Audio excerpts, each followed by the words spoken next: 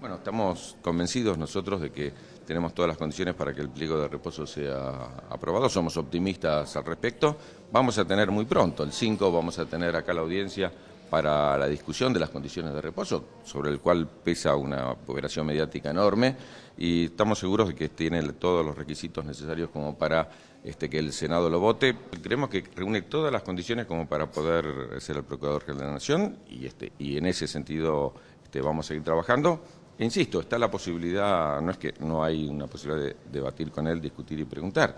Tenemos la audiencia, el 5, todas las cosas que se quieran plantear van a estar ahí. Lo que no tenemos que hacer es este, dejarnos llevar por las operaciones mediáticas, porque me parece que eso es eh, desestimular un mecanismo de transparencia que, insisto, fue este propio gobierno el que generó este mecanismo para que este pueda ser de cara a la sociedad la designación y no una designación simplemente por este decreto o por ley, sin ponernos de cara a la gente.